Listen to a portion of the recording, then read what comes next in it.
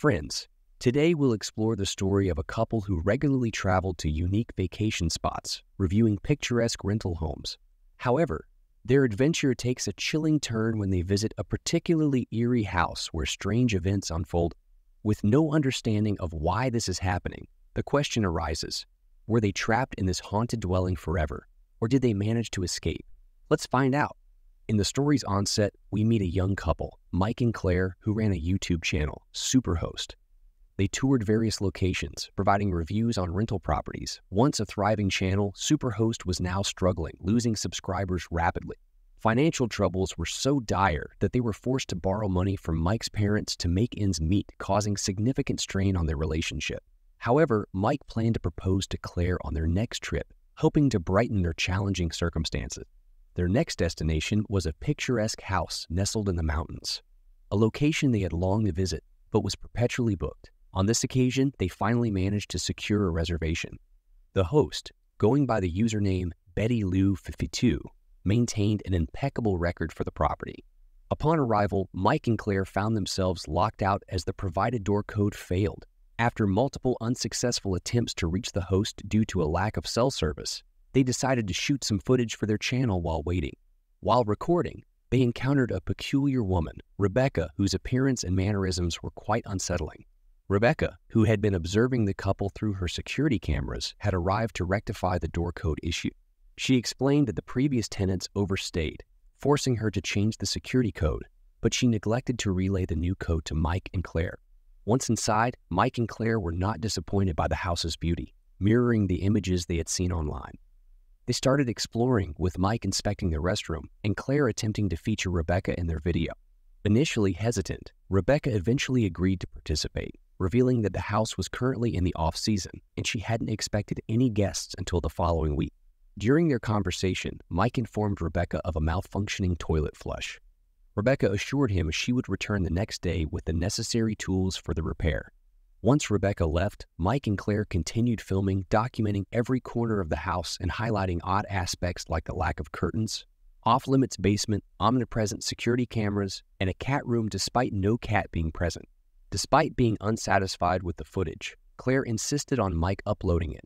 Due to the slow internet connection, it took longer than expected, Afterward, the couple retreated to the balcony, discussing their dire situation. Claire was particularly concerned about their predicament, but Mike reassured her, expressing contentment in facing challenges together. Later that night, Mike discovered the video still hadn't uploaded. Feeling restless, he went out on the balcony for fresh air, only to spot Rebecca standing ominously in the road, her eyes gleaming in the dark. Before he could react, Claire joined him on the balcony, and when he looked back, Rebecca had vanished, leaving Mike unsettled. The next day, Mike learned their YouTube channel had been suspended, which Claire attributed to their negative review of Rebecca's house. Attempting to contact YouTube's helpline proved difficult due to the weak signal, forcing Claire to step outside for the call. Meanwhile, Rebecca returned to fix the toilet. Despite Claire being on an important call, Rebecca attempted to engage her in conversation. Claire, however, directed her to Mike. Rebecca tried repairing the toilet, but when her efforts proved unsuccessful, she vowed to bring a specialist the next day. She also implored Mike to refrain from posting negative reviews about the house's broken toilet. Upon her return, Claire shared her frustrating experience with the weak signal and her attempts to restore their YouTube account. Later, they took a walk in the woods, where Claire voiced her concerns about their declining viewership and the wisdom of continuing their channel. Mike, however, expressed his joy in making videos with her and his desire to keep the channel active. Back at the house, while reviewing the footage, Claire couldn't shake off the feeling of unease looking at Rebecca's disturbing and creepy expressions captured on video. That night, as Mike and Claire slept, they were abruptly awakened by a strange noise from outside. Claire was frightened and attempted to call the police, but her phone had no service. She asked Mike to check the alarm. Despite the alarm being activated, he decided to turn it off and then on again for reassurance. Just as he was about to return, another noise echoed from the bathroom, Upon investigation, he discovered that the toilet was malfunctioning because of a set of fake teeth stuck in the flush. After removing them, the toilet functioned properly. The next morning, Mike received a message from YouTube notifying him that their account was reactivated. This news somewhat lifted their spirits. Mike, in his underwear, went downstairs to find Rebecca cooking in the kitchen. In light of recent events, she had decided to make breakfast for him. Mike found this unusual and returned to his bedroom. After dressing, both Mike and Claire joined Rebecca for breakfast. Claire enjoyed the breakfast and started to appreciate the unusual circumstances. She glanced at the security camera and expressed gratitude, only to hear Rebecca's voice from the security system responding, You're most welcome. Realizing that Rebecca was not only watching, but also listening to them, they were shocked. Later, as Mike and Claire prepared to record a video about their stay, Mike reminded Claire that Rebecca could be listening in. They turned off the camera in their room to ensure privacy. Suddenly, a stone was thrown through a window from outside, barely missing Mike. Rushing outside, they found a woman named Vera, the co host of the house, standing there. She expressed her frustration about the negative review they'd given her property, explaining it had significantly reduced its demand. Vera confessed to reporting them on YouTube, causing their channel suspension and throwing the stone. Upon witnessing the broken window, Rebecca appeared and angrily threatened to call the police if Vera didn't leave, despite Vera's pleas to be cautious with Mike and Claire to avoid another negative review. Rebecca shouted and threatened her until she left. After the confrontation, Rebecca offered to do an interview for Mike and Claire's house review video. She began the interview nervously, loudly exclaiming to ease her tension. Rebecca shared that the house was her late father's and she considered it a keepsake of him. Therefore, she lived nearby to maintain the property. To avoid it sitting empty, she rented it out. When asked about her most memorable tenants, she mentioned an old couple who once invited her to spend the holidays with them, which led to her breaking down in tears. Sensing her discomfort, Mike ended the interview. That evening, while reviewing their footage, Claire noticed Rebecca's behavior appeared eccentric on screen. She suggested that viewers enjoy watching such characters and that they should focus more on her. After making this point, she retired to bed. However, Mike stayed up a bit longer to reveal to the viewers his plan to propose to Claire the next day. Later, Rebecca, peering through a window, saw them sleeping, her face full of anger. The following day, during a walk in the wilderness, Mike asked Claire to turn off the camera so he could propose. Elated, she accepted but quickly turned the camera back on, asking him to propose again for the viewers. Mike was upset by this, not wanting to share such a personal moment.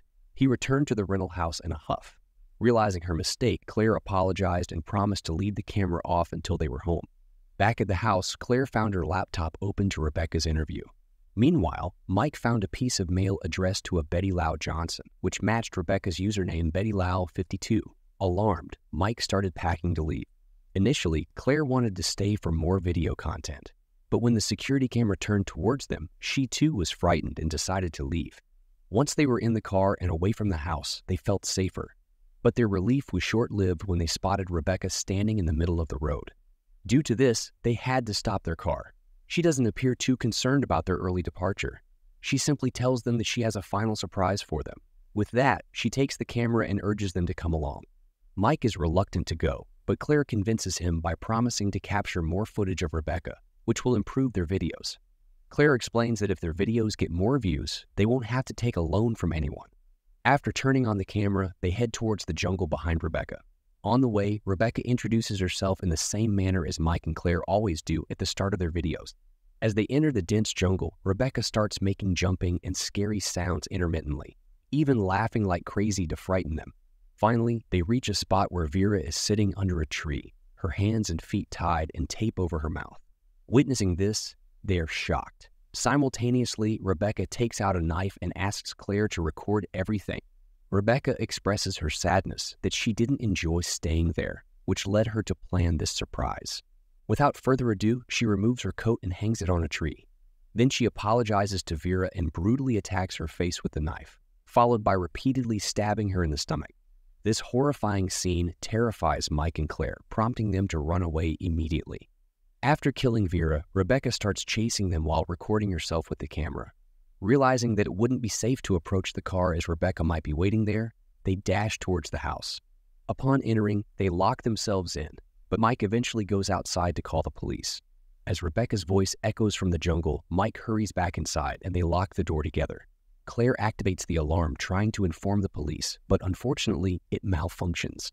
They notice Rebecca outside the window, holding the key to her car. They closely monitor her every move, and when she reaches the door, they use all their strength to prevent her from entering.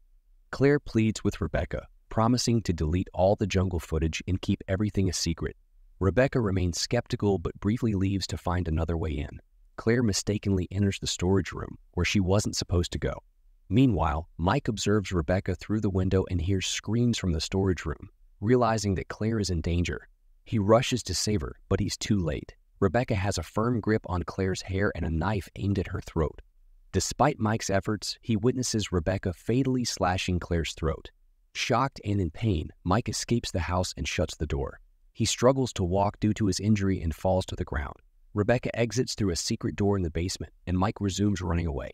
Rebecca follows closely, recording herself and taunting him like a YouTuber, boasting about her killings. Due to Mike's bleeding wounds, Rebecca easily tracks him.